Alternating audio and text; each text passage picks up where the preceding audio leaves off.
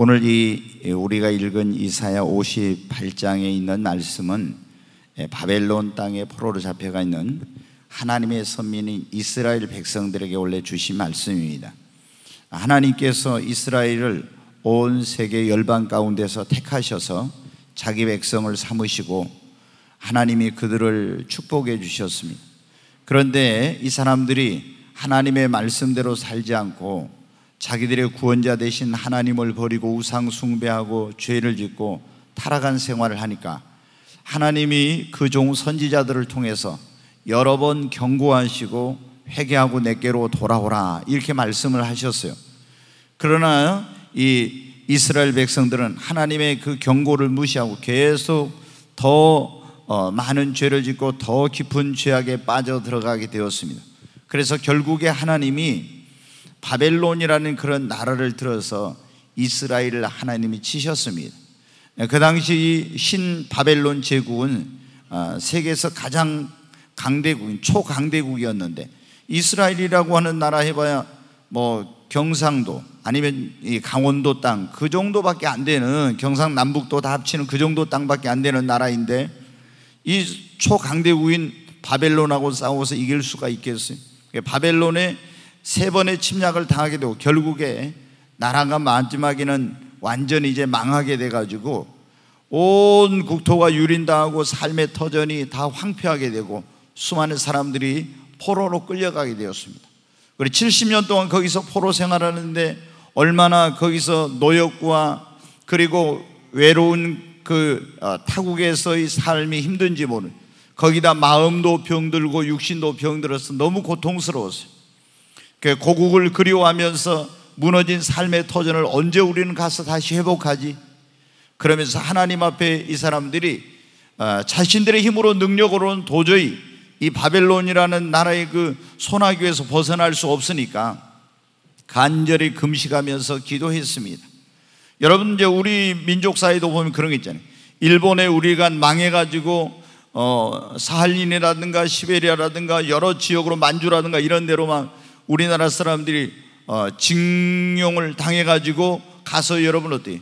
군인으로 전쟁에 참여하기도 노역을 하기도 하고 이런 일이 있었잖아요. 지금도 시베리아 같은데 슬픈 그런 고려인 마을 이런데 우리 민족의 그런 어떤 과거의 아픈 상처들이 지금도 남아 있잖아요.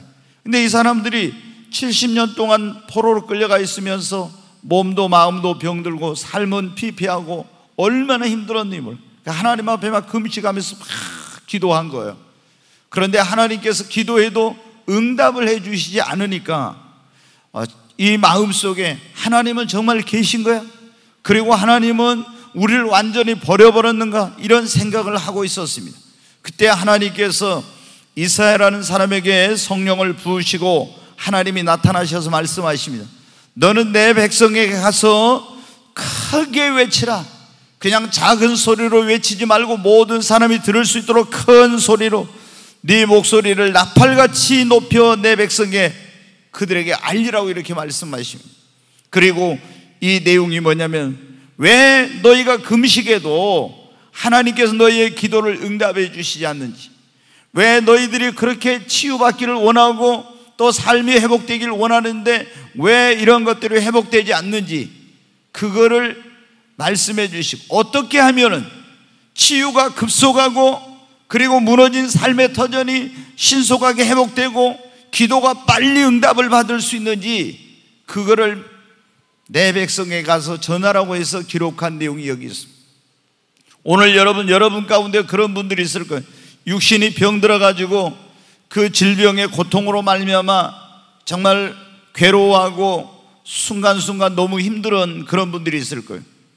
어, 저희 아내도 한 10여 년 전에 갑상선 수술을 하고 나서 이제 호르몬 분비가 안 되니까 부작용이 거의 나타나가지고 혀에 이제 뭐냐면은 막 혓바늘이 갈라지고 그리고 혀가 혀가 갈라지고 혓바늘이 나고 이 입이 불같이 타면서 얼마나 고통스러웠는지 몰. 그래서 대학병원에도 가고 어디도 가고 막 하여튼 그 난치병 불치병 치료한다는 데를 다 간 거예요. 그런데 그 고통이 저희 집사람은 8년 동안 고춧가루 들어간 거 하나를 못 먹으면서 김치 아니면 밥을 잘 못 먹는 사람인데 김치를 못 먹어요. 그리고 이 고통이 초단위로 오니까 하나님 빨리 나를 안 고쳐 주시려면 빨리 천국에 데려가 달라고 우리 집사람이 그렇게 기도를 했다고 저한테 그러더라고. 여러분 가운데도 질병으로 인해서 고통을 겪고 있는 그런 분들, 또 과거에 겪었던, 겪으셨던 분들 그럴 거예요. 하나님 빨리 나를 고쳐주시든지 아니면은 예수 믿는 사람들은 어떻게 돼? 우리 빨리 나를 데려가 달라고 막 그렇게 하잖아요. 우리가 병든 사람은 고통을 당하면서 빨리 치유받고 싶잖아요. 빨리 고통에서 벗어나서. 아, 전에는 건강이, 그 건강할 때는 건강이 얼마나 소중한지 몰랐어. 돈 있는 사람이 부럽고, 권력 있는 사람이 부럽고, 또 뭐 잘 사는 사람이 부럽고 이랬는데, 아, 이제 나중에 건강을 잃고 건강, 이 질병으로 고통을 당할 때는 세상에 건강한 사람이 제일 부러운 거예요.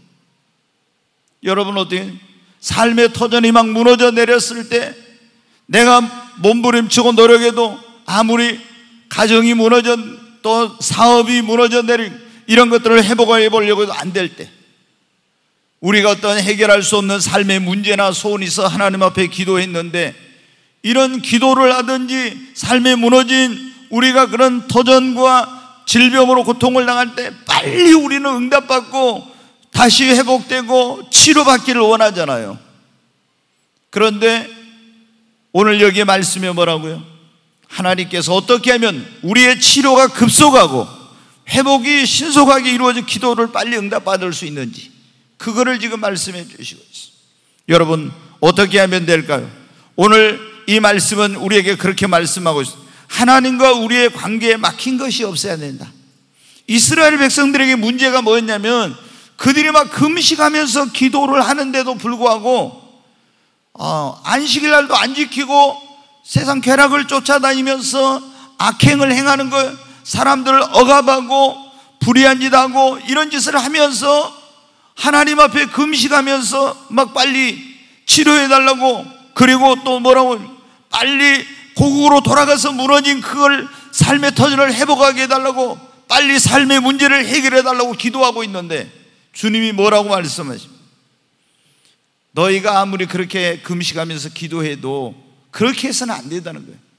먼저 죄악된 것을 버리고 하나님과 관계의 그런 막힌 부분을 담을 헐어버려야만이 그래야만이 하나님이 기도로 응답해 주시고 치유도 급속하게 회복도 신속하게 이루어진다고 말씀하고 있는 것입니다.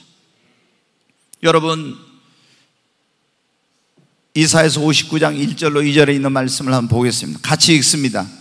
여호와의 손이 짧아 구원하지 못하심도 아니요 귀가 둔하여 듣지 못하심도 아니라 오직 너희 죄악이 너희와 너희 하나님 사이를 갈라놓았고 너희 죄가 그의 얼굴을 가리어서 너희에게서 듣지 않으시게 함이니라. 여기 하나님께서 말씀하셨잖아요. 어, 하나님이 귀가 둔해서 너희 기도를 못 듣는 거 아니고 내가 팔이 짧아서 너희를 구원하지 못하는 거 아니다. 너희와 너희 하나님 사이에 죄악의 담이 막혀 있어 가지고 그것 때문에 하나님이 너희를 기도를 듣지 않으시고 너희를 치료하지 않으시고 너희를 그 고통 가운데서 건져 주시지 않는 것이라고. 여러분 하나님은 전능하신 하나님이십니다. 능치 못하심이 없습니다. 여러분 그러기 때문에 하나님이 치료하시려고 하면은 급속하게 치료가 되고 하나님이 회복시키려고 하면은 아유 어떻게 내가 다시 일어날 수 있을까 순식간에 회복이 됩니다. 그러나 여러분 어떻게 내가 볼 때는 금방 치료될 것 같고 금방 회복될 것 같고 문제가 해결될 것 같지만 하나님이 돕지 않으시면은요 정말 이게 별거 아닌 것 같은데 치료의 길이 열리지 않아요. 이게 여러분 어떻게 돼? 금방 어떤 문제가 해결되고 사업이 회복이 될 것 같은데 안 되는 겁니다. 여러분, 우리가 하나님의 도움 없이는 살 수 없어요. 하나님이 건강도, 여러분, 우리가 병들어서 병을 치료하는 방법은 여러 가지죠. 병원에 가서 의사한테 치료를 받을 수도 있고, 약을 먹고 치료받을 수도 있고, 대체의학이나 여러 가지 방법으로도 자연치유로 이런 치료한 방법이 여러 가지 있죠. 그러나 이 모든 것들을 치료하게 하시는 분은 하나님이십니다. 하나님이 의사를 통해서 약을 통해서도 자연치유나 대체의학이나 이런 모든 걸 통해서 하나님이 치료하신 거예요. 그런데 다른 사람은 이거 먹으면 듣고 그 병원에 가서 치료하면 된다는 안 되는 거예요. 여러분 우리가 아무리 치료하려고 해도 치료가 빨리 안 되고 또 그리고 삶이 회복이 안 되고 또 내 기도가 응답이 지연되고 있을 때는 어떻게 먼저 하나님과 나 사이에 막힌 것이 없나 이걸 살펴봐야 돼요. 내가 진짜 지금 하나님과의 보시기에 합당한 삶을 살고 있는지 하나님 앞에 합당하지 않는 그런 삶을 살면서는 아무리 기도해도 여러분 삶의 회복이 빨리 안 됩니다. 치유가 빨리 안 되고 기도 응답이 안 됩니다. 그러나 우리가 하나님과 우리 사이에 막힌 거 죄담을 헐어버리고 철저히 회개하고 예수님의 십자가 피로 나의 모든 허물과 죄를 깨끗이 씻음을 받으면은 여러분 급속하게 치유가 이루어지고 신속하게 회복이 되고 그리고 기도의 응답이 빨리 이루어지는 것입니다. 이스라엘 백성들은 어떻게 돼요? 아, 왜 빨리 이렇게 안 고쳐주셔? 왜 빨리 이렇게 회복 안 시켜주시고 응답해 주시? 그래서 하나님이 말씀하니 너희가 그런 죄를 지면서 오락을 찾아 즐기면서 내 말을 계명을 지키지 않으면서 기도한다고 금식한다고 그게 나의 기뻐하는 금식인 줄 아니야. 이거는 너희를 진짜 괴롭게 하면서 내게 응답받고 싶어서 하는 기도가 아니야. 그러니까 이 문제가 해결이 안 되고 치유가 빨리 안 되고 이런 거라고 주님이 말씀해 주신 겁니다. 여러분, 오늘 여러분 가운데도 그런 분들이 있을 거예요. 병이 지금 몇 년째 굉장히 있어요. 고통스러운 분들. 또 삶의 문제가 빨리 해결이 안 되는 분들. 또 기도했는데 기도 응답이 지금 계속 지연되고 있는 그런 분들. 한번 하나님과 우리 자신을 한번 살펴보십시오. 그 정말 하나님과 나 사이에 막힌 담이 없는가? 혹시 하나님 앞에 불순종한 것은 없, 죄를 짓고 내가 회개치 않는 것은 없는지 그런 것이 있다면 빨리 회개하고 하나님 앞에 그 담을 허물어 버릴 때 치유가 급속하고 회복이 신속하게 기도 응답이 빨리 이루어질 줄로 믿습니다. 두 번째로 오늘 하나님께서 어, 지금 주신 말씀이 치유가 급속하게 회복이 신속하게 기도 응답이 빨리 이루어지려면 여러분 예배가 회복되고 하나님과의 관계가 회복되고 신앙이 여러분 회복이 돼야 됩니다. 네, 여러분 우리가 이 이스라엘 백성들은 어떻게 돼요? 이 사람들이 빨리 지금 뭐 몸도 마음도 병 들어가지고 있어 고통스럽고 빨리 지금 이 포로로 끌려와서 거기서 노역을 하면서 힘든 생활하니까 고국으로 돌아가서 삶의 터전을 빨리 회복하고 싶고 막 이러잖아요. 기도하잖아요. 그런데 여러분 어디 왜 이게 어, 회복이 안 되고 치유가 안 되고 있냐? 하나님과의 관계를 회복을 안 하니까 그런 거예요. 신앙이 먼저 회복이 돼야 돼. 여러분, 우리가 어, 만약에 여러분 생각해 보십시오. 어떤 분들 제가 보면 그러거든요. 어, 지금도 어떤 몸이 병들고 삶의 문제와 고통과 어려움 가운데 있는데도 불구하고 하나님 앞에 제대로 나서 신앙생활 안 하면서 이런 분들이 있어요. 기도하면서 뭐냐면 빨리 하나님 고쳐주세요.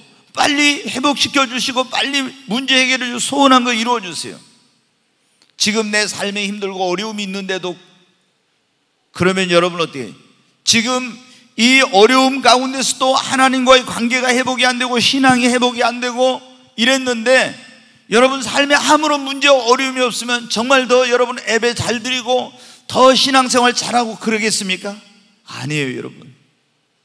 우리가 정말로 하나님 앞에 내가 빨리 치료를 받고 싶고 삶이 회복되고 싶고 그리고 기도 응답을 빨리 받고 싶으면 먼저 예배를 회복하고 그리고 하나님과의 관계를 회복하고 여러분 신앙을 회복하시기를 바랍니다.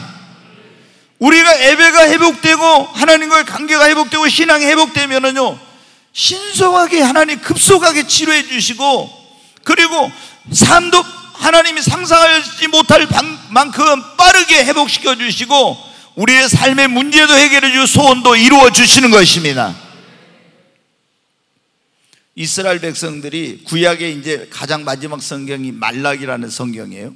말락이라는 선지자가 활동할 때 이제 그 선지자가 하나님께 받아 기록한 거예요. 근데 그때 이 이스라엘 백성들이 어쩐지 아십니까? 아주 엉망이었어요. 하나님 앞에 예배 드릴 때 구약 시대는 어떻게 돼? 양이나 소나 염소 같은 거 가지고 와 짐승을 가지고 와서 예배를 드리잖아요. 그러면 이 사람들이 예배를 드릴 올때 온전한 재물을 가지고 왔는데 눈먼 거, 병든 거, 비루 먹은 거, 저는 거 이런 거 가지고 와서 예배를 드리고 이렇게 한 거예요. 그러니까 또 온전한 11조 생활도 않고 그러니까 황충이 먹어버리죠. 메뚜기가 먹어버리죠. 또이 어, 새끼를 배웠던 이런 그 육축들이 다 기한 전에 유산을 해버리죠. 엄청 막 힘든 거예요. 그래 그들이 막 하나님께 원망했어요. 그래서 하나님이 말씀을 했어요. 너희가 이런 것을 너희 총독에게 한번 갖다 줘봐라. 총독이 받겠는 거. 하물며 만군의 여호와께 너희들이 이렇게 해가지고 하나님께 복을 받고 응답받고 이렇게 하기를 원하느냐? 하나님이 너희가 내게로 돌아오라. 그러면 나도 너희에게로 돌아가리라. 그리고 너희가 내게로 진정으로 와서 나를 경외하고 하나님을 예배하면 하나님이 어떻게 하신다 했어요. 말라기 4장 2절 말씀 보겠습니다. 같이 읽습니다. 내 이름을 경외하는 너희에게는 공의로운 해가 떠올라서 치료하는 광선을 비추리니 너희가 나가서 요양간에서 나온 송아지 같이 뛰리라. 여기 보면 너희가 내게로 와서 나를 경외하면은 하나님이 너희에게 공의로운 해, 의로운 해가 떠올라서 치료의 광선을 비추리니 여러분 우리가 보면은 요즘 그 병원에서 어 이제 여러 가지 그런 치료법이 있는데 예를 들어서 엑스선으로 이렇게 막 그 방사선 치료법 이게 뭡니까? 빛을 강력하게 쏴가지고 이제 그 암세포나 이런 걸 죽이는 거잖아요. 근데 이게 성경에도 나와 있어. 하나님이 내 이름을 하나님을 예배하고 하나님을 경외하는 자에게는 공의로운 해가 떠올라서 치료의 광선을 비춰서 내가 너희를 치료해서 외양간에서 나온 송아지 같이 뛰리라고. 여러분, 우리가 믿는 하나님은 치료의 하나님이십니다. 그러니까 하나님 앞에 우리가 예배를 회복하고 하나님과의 관계를 회복하고 우리 신앙을 회복하면은 하나님이 치유도 급속하게 삶의 이런 모든 것들도 더 신속하게 회복시켜 주시고 우리의 삶의 문제도 해결을 소원도 이루어 주시는 것입니다. 여러분, 그래서 이스라엘 백성들은 어떻게 하냐면 항상 그들의 삶이 회복이 되려면 먼저 성전을 재건하고 예배를 부활시키고 하나님 앞에 나와서 예배를 드리는 그런 일을 먼저 하려고 합니다. 지금 많은 분들이 코로나 이 전염병 때문에 두려워가지고 예배 자리에 오지 못하고 있습니다. 어, 뭐 온라인으로 지금 예배를 드리고 있는 그런 분들이 있어요. 근데 진정한 교회라는 것은 무엇입니까? 여러분 주님이 어떤 곳에 임재합니까? 두세 사람이 내 이름으로 모인 곳에 나도 그들 중에 있겠다고. 모여야 여러분 그게 교회고 모여야 하나님의 임재가 있는 것입니다. 이 지금 인터넷을 통해서 예배를 드리고 있는 분들도 계실 건데 예배 자리에 나오시기를 바랍니다. 하나님 앞에 예배를 회복하고 우리가 관계를 회복하고 신앙을 회복할 때 급속한 치유와 회복이 이루어지게 되는 것입니다. 여러분 누가 보면 15장에 보면 신약 성경에 둘째 아들이 아버지 집을 떠났다가 가진 것 모든 것 다 잃어버리고 마음도 병들고 육신도 병들었어요. 그런데 어떻게 이 아들이 회복이 됐습니까? 다시 아버지 집으로 돌아와서 아버지와의 관계를 회복하니까 모든 것이 신속하게 회복이 됐어요. 여러분 거기에 비운데 그 아버지 집이 뭡니까? 오늘날 교회입니다. 여러분 우리가 예배 자리에 나와서 하나님과의 관계를 회복하고 우리의 신앙을 회복할 때 급속한 치유, 신속한 회복, 그리고 빠른 응답의 역사가 일어나게 되는 것입니다.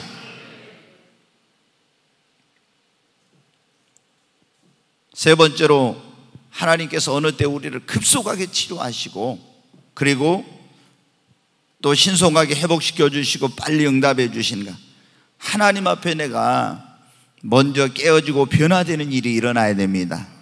하나님께서 우리에게 삶의 고난과 어려움을 허락하신 것은 그 삶의 고난을 통해서 우리를 깨뜨리고 변화시키고 예를 들어 죄악된 길로 가고 있으면 회개하고 돌아오라 하고 또 하나님이 나 자신에게 본 우리 가정이나 이런 걸 허락할 때는 어떻게 돼? 그 어려움을 통해서 나를 들어 쓰시고 나중에 하나님 우리 가정을 귀하게 쓰시려고 이런 일을 허락하신 것입니다. 그런데 그때 어떻게 돼요? 왜 이런 고난, 왜 이런 어려움을 하나님께서 허락하셨니? 그걸 깨닫고 특히 여러분 어떻게 주님이 우리를 축복하시고 쓰시려고 할 때는 어떻게 하냐면 이런 삶의 고난과 어려움을 통해서 우리를 깨뜨리고 변화시켜 가지고 새 사람으로 빚어 가지고 하나님이 우리에게 복을 주시는 겁니다. 그래서 여러분 어떻게 돼요? 우리가 어떤 삶에 이런 막 병들었으면 제가 보면 이러면 병들었으면 사람들이 하나님 빨리 고쳐주세요. 이렇게만 기도하면 안 돼요 여러분. 하나님 이 사업을 빨리 회복시켜 주세요. 우리 가정을 회복시켜 주세요. 하나님 빨리 이 삶의 문제를 해결해 주세요 소원을 이루어 주세요. 이렇게 기도해서는 안 됩니다. 먼저 뭐예요? 하나님 앞에 내가 하나님 나를 변화시켜 주시고 나를 깨뜨려서 새롭게 주셔서 이렇게 하나님이 이것을 허락하신 이유가 뭔가를 깨닫고 하나님 앞에 내 자신의 변화와 성숙과 이런 어떤 이걸 위해서 기도를 해. 내가 하나님 앞에 깨어지고 변화되고 하면은 하나님이 더 빨리 하나님이 치료해 주십니다. 신속하게 여러분을 회복시켜 주시고 여러분의 삶의 문제도 해결해 주 소원을 이루어 주시는 것입니다. 성경에 보면 야곱이 계속 삶의 고난의 연속이었어요. 그러다가 이제 20년 만에 고향에 돌아오는데 형 에서가 자기를 죽이려고 오는데 이제 피할 길이 없는 막다른 골목길에 이제 예, 몰리게 된 거예요. 완전히 이거는 외나무 다리에서 이제 만나게 된 거예요. 어디 진퇴양난입니다. 하나님 앞에 그래서 막 인간적인 방법을 써보지만 안 되니까 철회하면서 부르짖어 기도해요. 뭐를 위해서? 하나님, 저 형 에서의 손에서 나를 구해주세요. 저 자식을 구해주세요. 막 이렇게 기도합니다. 근데 하나님은 어떻게 합니까? 그 기도에 응답지 않으시고 야곱의 환도뼈를 갖다가 하나님이 쳐버렸어요. 하나님이 문제를 해결해 달라고 형에서의 마음을 바꿔 달라고 이렇게 기도한데 하나님은 그게 아니라 야곱의 환도뼈를 쳐버렸어요. 그래가지고 야곱이 한도뼈를 맞고 깨져가지고 이스라엘로 변화되었어요. 그랬더니 하나님께서 그 형 에서와의 문제도 신속하게 해결해 주시고 모든 것이 다 해결될 것입니다. 우리 가운데도 그런 분들 많이 있어요. 제가 보면은 자기만 모르는 거예요. 우리 그런 말 있잖아요. 자기만 몰라. 다 보면 자기가 변화되는데 변화는 안 되고 막 하나님 앞에 막 어떤 치료해달라고 축복해달라고 문제를 해결해달라 이런데 하나님은 얼마나 잘하시겠어. 우리가 봐도 저건 아닌데. 여러분 어떻게 해요? 우리가 하나님 앞에 먼저 깨어지고 변화되면 하나님이 더 빨리 치료도 회복도 문제도 해결되게 해주십니다. 그러므로 주님 앞에 주여 나를 깨뜨려 주시고 변화시켜 새롭게 해주세요 어떤 사람들은 교만 때문에 어떤 사람들은 자기의 굉장히 자기가 올바르게 산다는 이런 자기의 고집 또 자기라고 하는 어떤 나라고는 이 자아가 강해가지고 그래서 여러분 어떻게 돼요? 하나님께서 이런 어떤 질병이나 삶의 그런 어떤 어려움이나 이런 걸 통해서 우리를 깨뜨려 가지고 변화시키시려고 하나님 이걸 하라겠는데 그걸 모르거든요. 여전히 교만한 가운데 여전히 자기 의에 빠져서 자아에 집착하고 그리고 자기 고집과 계획대로 뭔가 하려고 하니까 치유도 회복도 더딘 거예요. 하나님 나를 깨뜨려 주소서. 교만함을 내려놓고 내 의를 내려놓고 그리고 하나님 앞에 나의 고집과 계획을 내려놓고 주님 앞에 나를 변화시켜 달라고 새 사람 되게 달라고 야곱을 이스라엘로 변화시키신 하나님께서 나를 변화시켜 달라고 나를 깨뜨려 달라고 기도할 때 여러분 하나님이 더 급속하게 치료해 주시고 회복시켜 주시고 문제를 해결해 주실 줄로 믿습니다.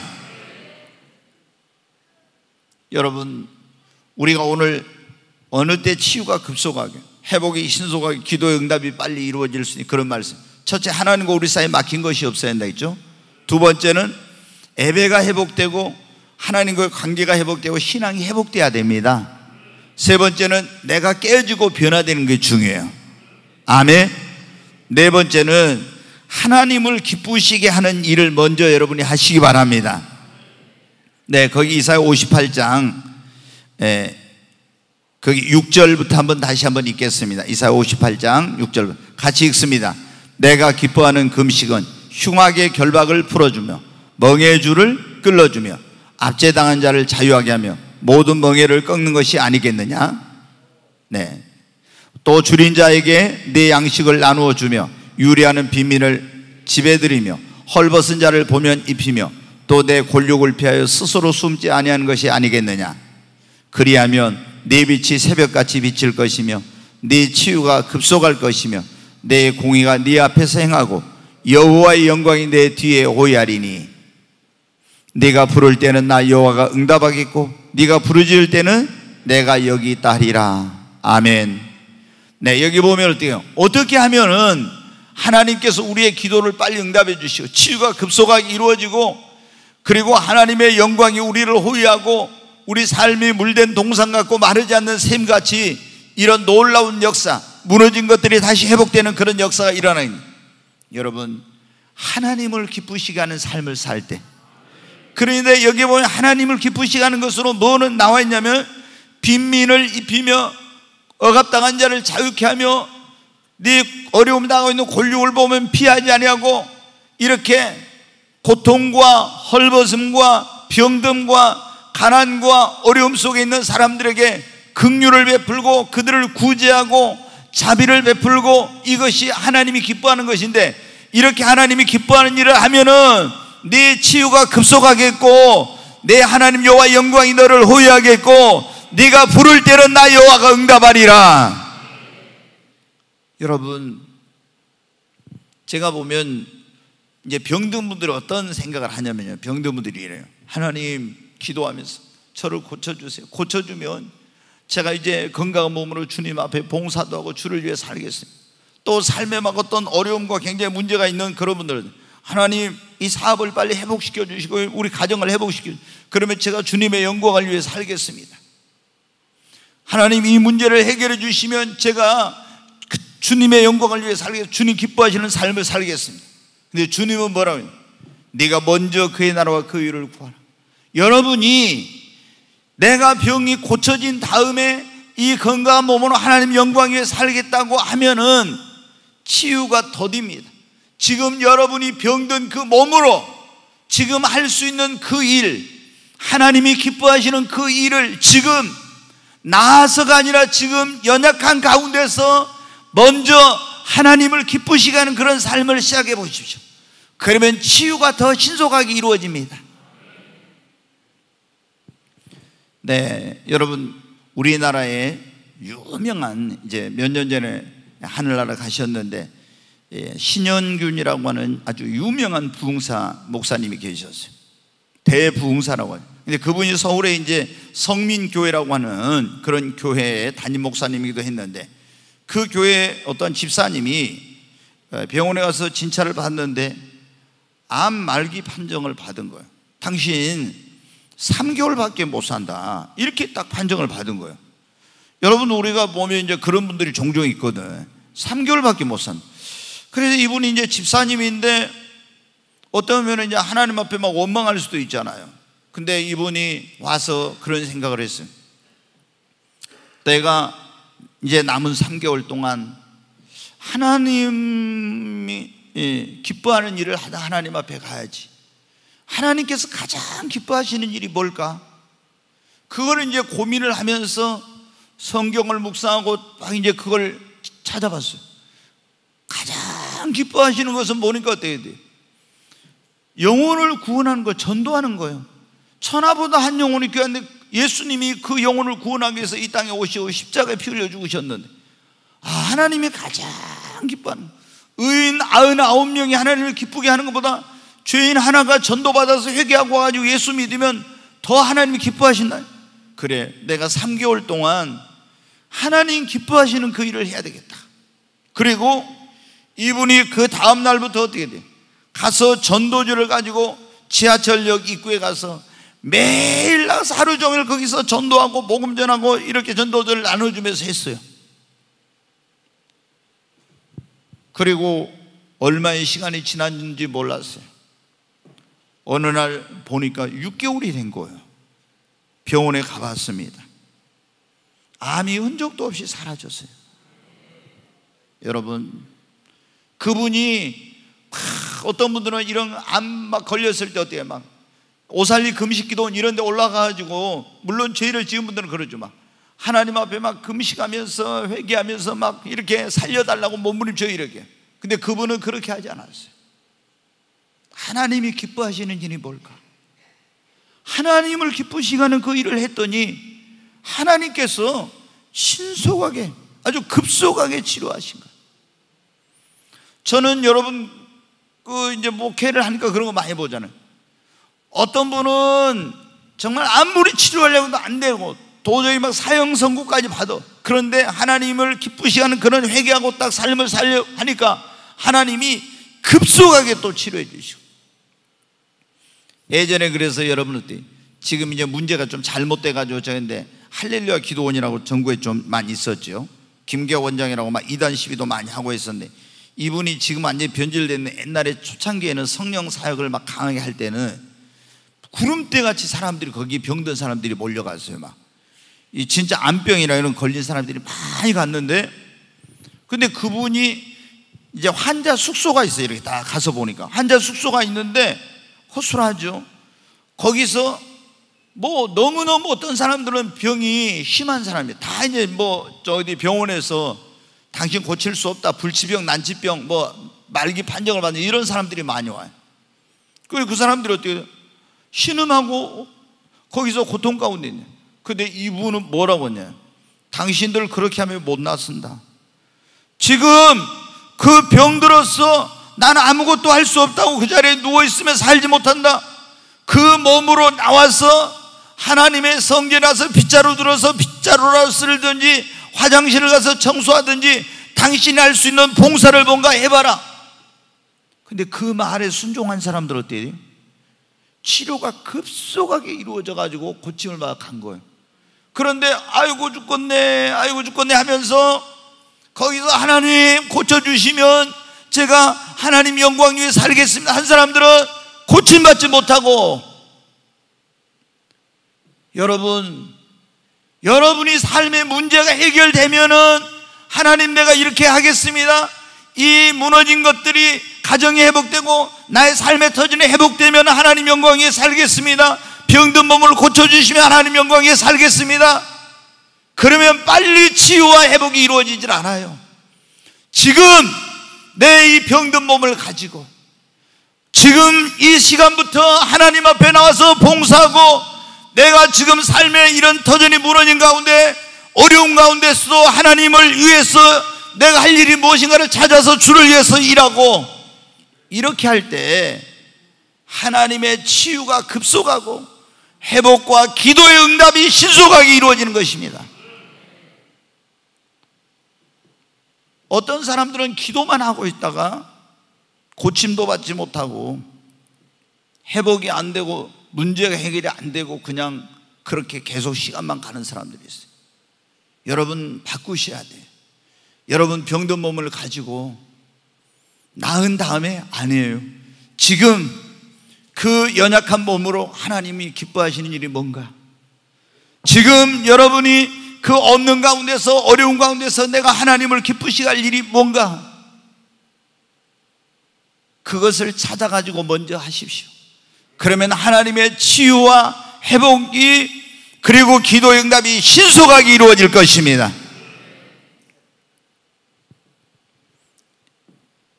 이제 한 가지만 더 말씀을 드리고 마치겠습니다. 여기 보면 이스라엘 백성들이 무슨 기도했어요? 금식하면서 기도했잖아요. 근데 금식하면서 기도하면서 어떻게 돼요? 가서 안식일 날 예배도 안 드리고 놀러 가고 싸우고 막 손가락질하고 다른 사람 비방하고 뭐 억압하고 막 이런 일을 한 거예요. 예, 포로로 잡혀가 있는 상태에서도 그러니까 하나님이 어떻게 합니까? 그것이 너희가 나에게 진정으로 정말 너희 마음을 괴롭게 하고 기도 응답받고 하고 싶어서 하는 그런 기도냐? 그건 하나님이 기뻐하는 금식이 아니라 내가 진짜 기뻐하는 금식 기도를 해라. 그랬잖아요. 여러분, 여러분이 치유가 신속하게 회복이 그리고 기도 응답이 문제 해결이 빨리 이루어지기를 원하면은 하나님 앞에 작정하고 다니엘처럼 뜻을 정해 작정하고 간절히 기도해 보십시오. 그러면 하나님께서 치유를 급속하게 회복을 신속하게 기도의 응답도 빨리 해 주실 줄로 믿습니다. 뭐 할 거 다 하면서 기도하지 말고 하나님 앞에 잘못된 거 철저히 회개하고 그리고 정말로 하나님 앞에 뜻을 정해서 다니엘은 보면 일평생 하루에 세 번씩 항상 작정 기도했잖아요. 그런데 무슨 문제가 생기고 어려운 일이 생겼을 때 소원이 있을 때는 또 특별한 작정 기도를 해요. 체라 기도를 한다든가 금식 작정을 한다든가 특별하게 또 작정 기도를 해. 그러면 기도 응답이 와. 기도 응답이 제일 빠른 그런 기도가 뭐면 작정 기도예요. 그래서 여러분이 지금 어떤 삶의 소원이 있고 문제를 해결해야 되고 회복이 돼야 되고 치료를 받기를 원한다면은 하나님 앞에 여러분이 작정하고 뜻을 정하고 정말 하나님 앞에 간절히 한번 기도해 보십시오. 그러면 하나님께서 여러분의 기도에 신속하게 응답해 주실 것입니다. 여러분 보세요. 히스기야 왕 어땠습니까? 병들어 죽게 돼 유언했잖아요.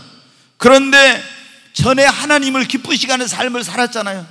그러니까 눈물로 하나님 앞에 간절히 기도하니까 하나님을 기쁘시게 하는 삶을 살았기 때문에 하나님이 죽을 병인데 3일 만에 치료해가지고 성전에 올라가게 하고 하나님이 하시면 이렇게 됩니다.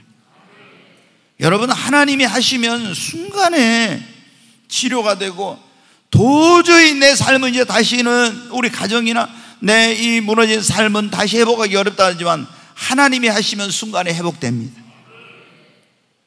여러분, 오늘 여러분 가운데 그런 분들 계시지 않습니까?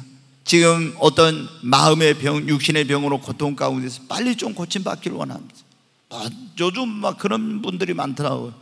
정신적인 어떤 그런 질환, 우울증이라든가 뭐 여러 가지 공황장애라든가 이런 걸막 굉장히 막 힘들어 하시는 분들 많아요.